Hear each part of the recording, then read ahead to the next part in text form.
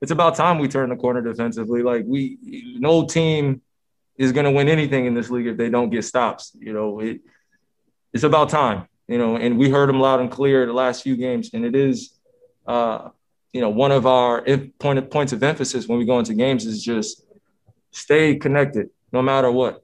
You know, stick to the game plan. We trust it. We've talked about it. So just go out there and play and play free and execute it. But we're going to hold each other accountable. I know you see on TV or when you were watching, we're yelling, we're pointing at each other. But that that's what we need in order to stay engaged for certain guys. You know, we need that uh, level of we need that level of grit. You know, it's okay to get angry on the defensive end and be physical in the league. We're not friends with these guys out here trying to win. Um, so let's just keep going.